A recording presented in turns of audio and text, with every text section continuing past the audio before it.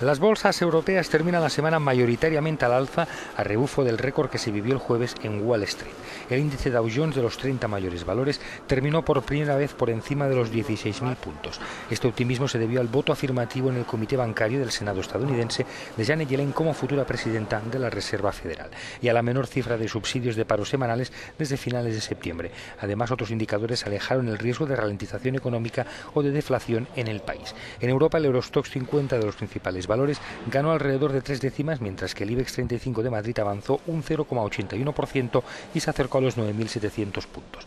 Por su parte, el euro subió de 1,34 a 1,35 respecto al dólar, tras los buenos indicativos sobre la economía alemana.